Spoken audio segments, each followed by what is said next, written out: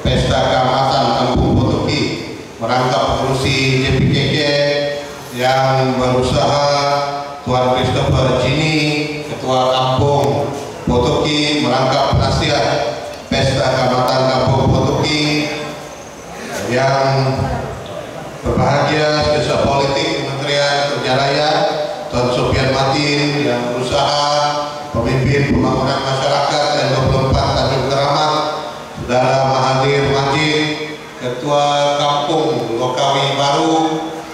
para penduduk kampung Bantuan Puan yang dimuliakan Pertama sekali saya ingin mengucapkan selamat, selamat menyambut Pesta Keamatan Kotobian Tadau Tagazoro Keamatan kepada semua masyarakat Potoki yang ada di Dewan ini pada tengah hari ini.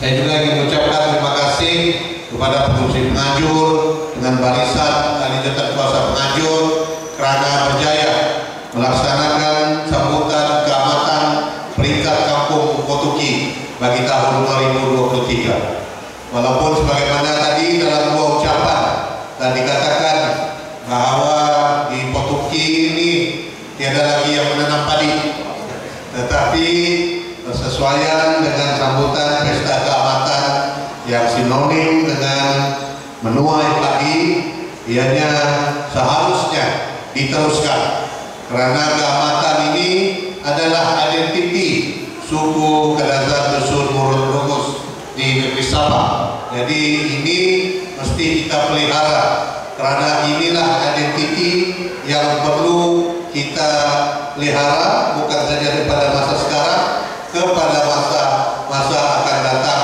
supaya generasi muda KDMA dan juga malah rakyat Sabah yang mungkin bukan daripada suku KDMA tetapi mengetahui, memahami apa dia sambutan pesta keamatan ini.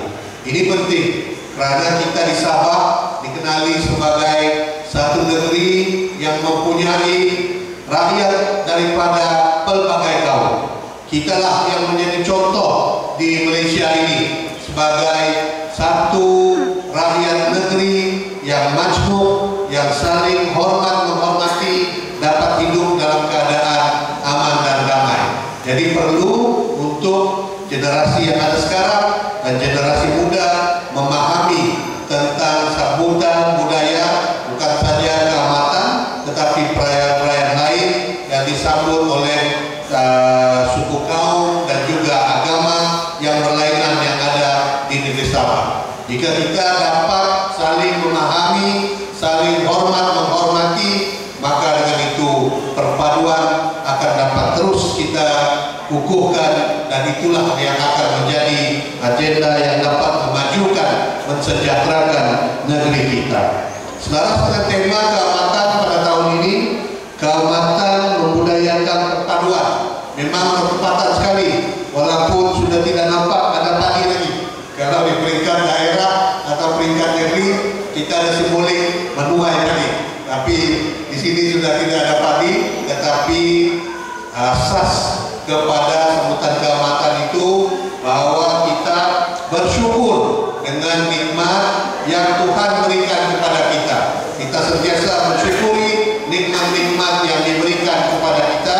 Apabila kita menjadi orang-orang yang bersyukur, maka akan menjadi masyarakat yang positif dan akan dapat dibentuk. Jadi itu saja yang dapat saya katakan pada kali ini. Ini merupakan kali kedua saya datang ke Kampung Potoki untuk sambutan pesta keamatan. Walaupun tadi Ketua Kampung menyatakan Dewan kurang penuh, kurang berisi, tetapi ada juga yang di luar. Mungkin juga faktornya selain daripada gerai-gerai ada di luar sana, mungkin cuaca pada tahun ini agak panas.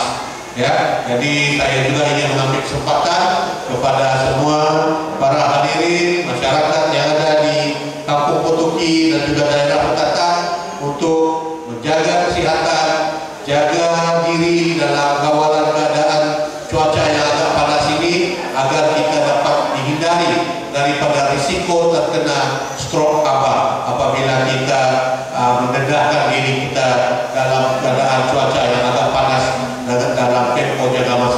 yang agak.